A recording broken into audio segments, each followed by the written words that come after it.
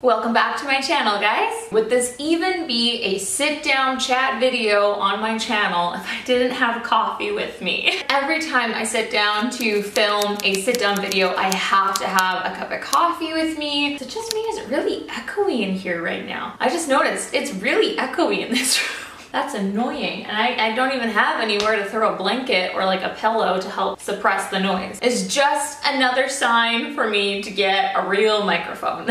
in case you guys did not notice, my walls are white. If you follow me on Instagram, you know that I painted and I got this room done in one day. I'm so happy. It was the last room on my list for painting and I'm so happy with how it turned out. It makes the floors look even more warm. I feel like it draws the eye more to my favorite favorite piece of art in the house. Obviously the white background I much more prefer than like the purple undertone beige that was in this room beforehand. So anyways, I'm not gonna talk your guys' ear off about painting or coffee we're just gonna jump right into this video. This is a nice wife talk video. You don't have to be married to watch this video. Even before I got married or before I was even dating, I liked learning about different things in marriage and, and getting different tools for when I would eventually be married someday. Instead of like packing on a whole ton of information within a very short period of time and like premarital counseling, I kind of started my own sort of version of that years prior to and paid attention to different things that either my mom did for my dad or my dad did for my mom or other people I knew who were married and just taking notice of some of the things they did for one another. This is really bright. I'm actually gonna turn this down.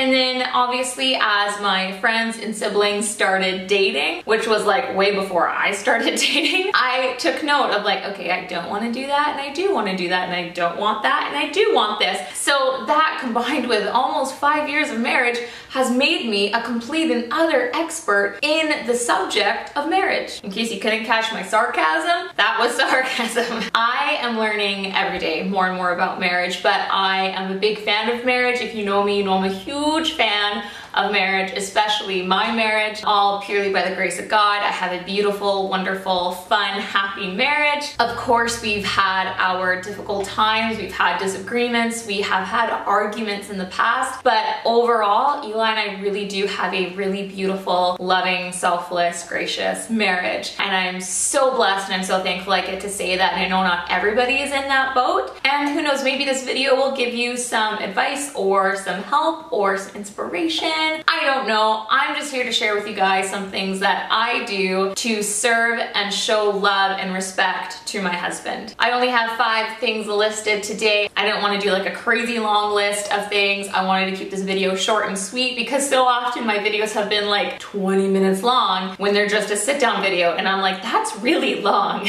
And I mean, I'm sure some of you guys enjoy that, but I'm sure other people are like, this is really long. So I'm trying to keep things minimal today and we'll see how quickly quickly I can go through this list. It's unfortunate how the culture in which we live has kind of taken marriage and twisted it a whole lot. And one of the things it has twisted out or into marriage or has, you know, kind of messed up is the idea that instead of marriage being this selfless, gracious, loving relationship, covenant relationship between a man and a woman, it's become a lot more selfish, I've noticed. Just for a woman to say, oh, I serve my husband, there's this automatic reaction of, oh, you are a oppressed, you are being emotionally abused, you must not have like opinions on anything. Almost kind of this ancient times women had no roles or abilities at all and, and that's kind of what is assumed when I tell people I serve my husband. But that's not it at all. In fact, my husband serves me as much as I serve him. We don't have a give and take relationship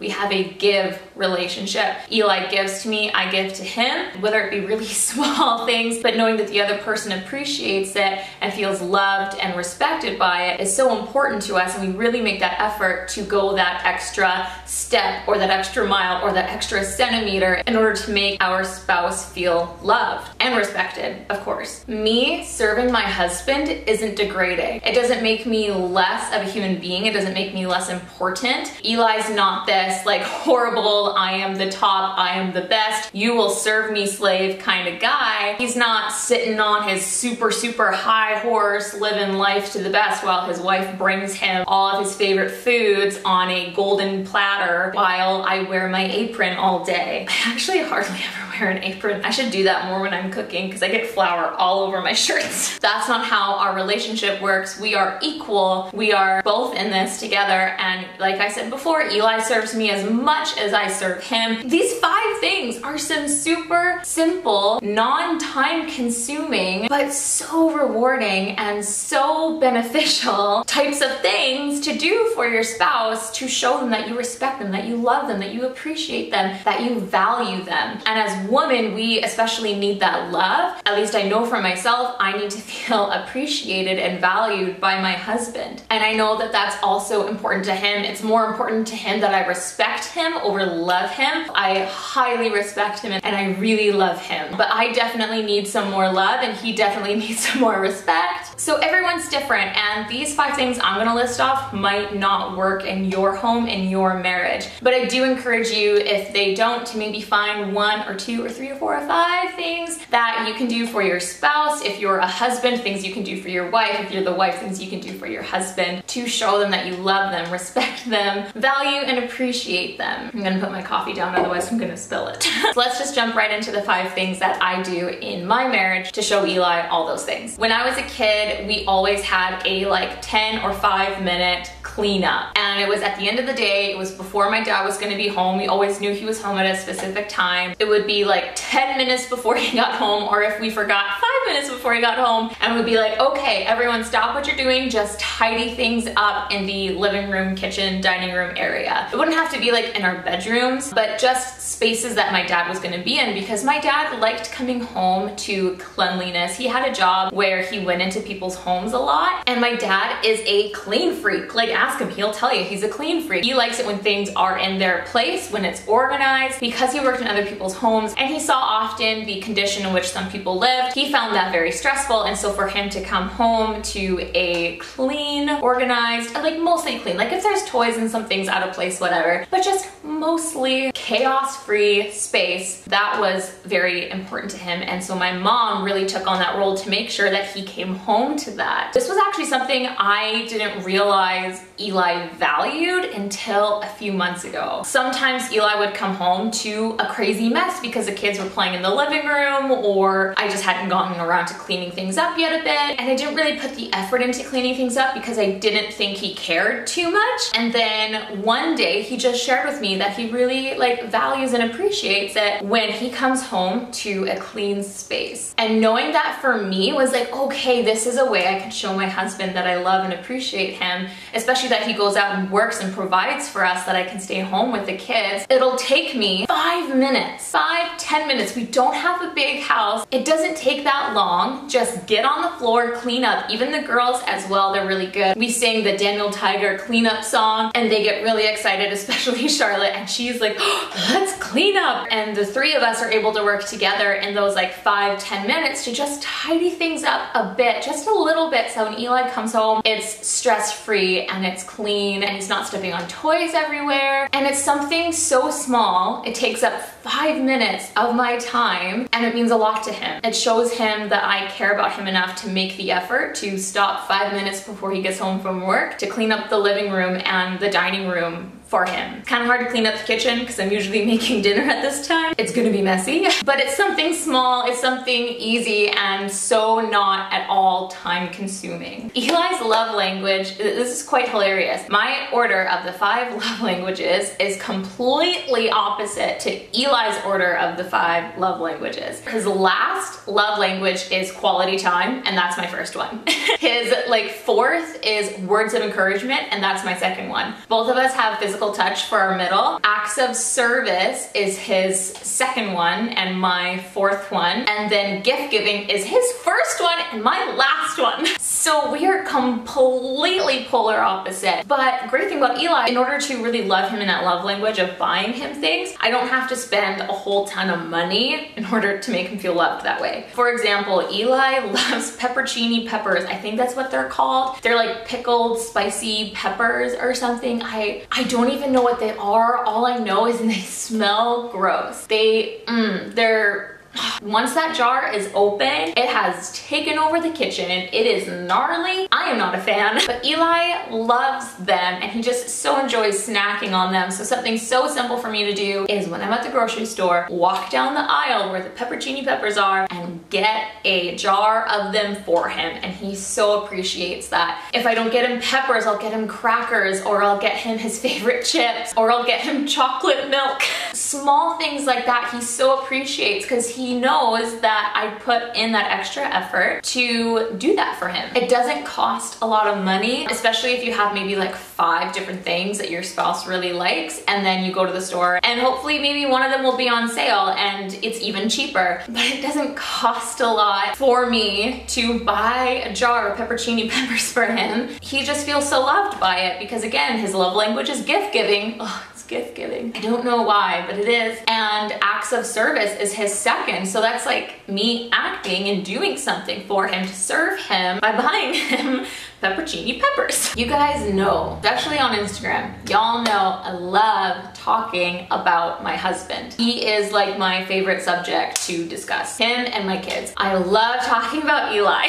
Even though like words of encouragement or affirmation is one of his lesser love languages, I still do it because I want him to know that I don't go around talking smack about him. There's really nothing I can talk smack about, but that I talk him up and that I tell people how amazing he is. And I share with people the things that Eli does for me or for the girls, or that he's a hard worker and how proud I am for the job that he has and for reaching that. I talk him up in front of his own family. I talk him up in front of our friends. And I, very important, talk him up in front of our girls. I will constantly be referring to Eli as uh, Papa is Mama's best friend. Isn't Papa the best? Oh, we just love Papa. Whenever I pray with the girls, we always thank the Lord for Papa. So so they're growing up knowing that I have a insane amount of respect and love for Eli. And so for Eli to hear that, that I'm teaching my kids how much I love and respect him and that I'm just singing his praise in front of his family, our friends, my family, anybody at the grocery store who will talk to me, I will talk him up. And that is huge. It's amazing how much words can encourage your husband or vice versa, how much your words can encourage your wife. It's that affirmation, it's that appreciation showing that we value them. It costs you nothing. It costs absolutely nothing for you to talk about how wonderful your husband is. Or even if you are in a marriage that is struggling right now and maybe your husband doesn't do a ton of great things for you, even just to not talk him down, never talk your husband down ever. And there's a difference between talking your husband down and maybe you and your husband having a disagreement and going to somebody you trust for advice. I have done that in the past. Talking smack and being respectful but honest about a disagreement you're having with your husband are two totally different things. As an example, if I'm having an argument with Eli over, I don't know, how to cook meat, which we don't disagree about that. We both like meat. I could talk smack about Eli and be like, oh, he's such a wuss. He won't make it medium rare. He always overcooks it. He sucks. Like, can he just cook meat? That's rude. That is degrading. That is shaming. That makes me look horrible. Or I can be like, you know, I just, he tries so hard and, and he really likes his meat cooked the whole way through when we're having steaks and I just like it medium rare and we're kind of having a bit of an argument about how to cook our meat. And you know, if I'm speaking in love and saying like he's making the effort, that's totally different than talking smack. So the last thing you want to do is talk smack about your husband. You want to lift him up and you want to treat him with respect. And Eli does the exact same thing for me. So talking Eli up in front of anyone and everyone shows him verbally how much I respect him and that I respect him so much I'm willing to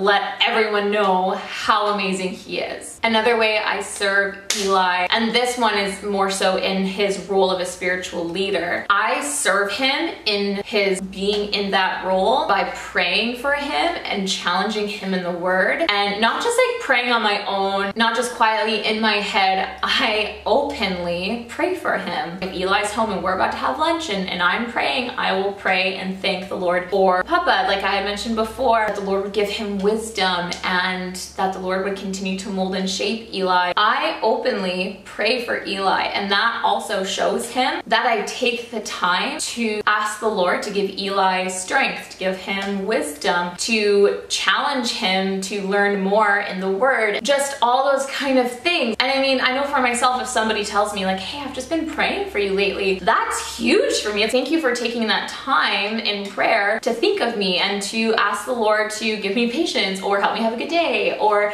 something, right? And so it does the same for Eli and it shows that I respect him. And I don't just ask God to like continue to, you know, form Eli or can you make him like a little more wise? Could you make him like a little bit better looking, which is not really possible? Could you just like make him like this? I don't just pray for God to like change him, but I also take the time to thank God for all the amazing things he's done in Eli's life and for who he has molded Eli to at this time. And thank God for providing Eli with a job and the work ethic to provide for us. Again, no money and not a lot of time or effort to openly pray for your husband and thank the Lord for him in front of him. Okay, last one, number five. I do Eli's laundry, I clean the floors, I do all the dusting, I keep things organized, I make him dinner, I handle all of the financial things of our family, and I do all of it with a joyful heart. I never throw in Eli's face the fact that I do Eli's laundry. I never have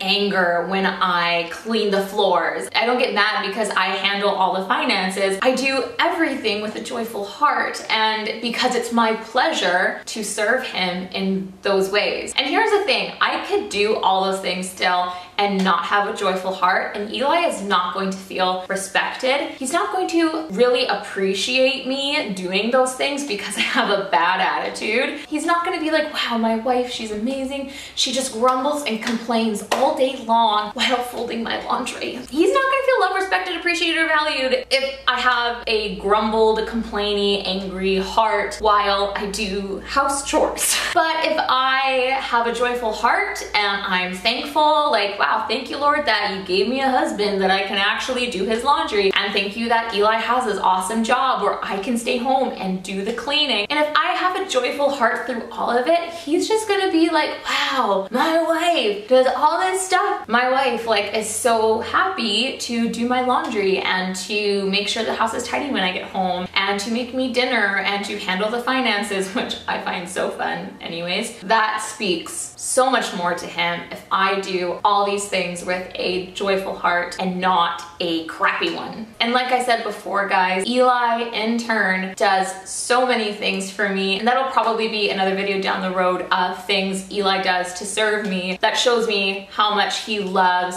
respects, values, and appreciates me as his wife. Marriage is so fun. Marriage is awesome. I highly recommend marriage. And I hope maybe some of these things gave you guys some inspiration. There's some ideas of how you can better serve your spouse. And if you learned absolutely nothing from this video, thanks for sticking around. If there are any marital subjects you guys would love to hear me talk about, let me know in the comments down below. Thank you for clicking on my face. Don't be afraid to hit that subscribe button and that like button, and I will see you guys in my next video.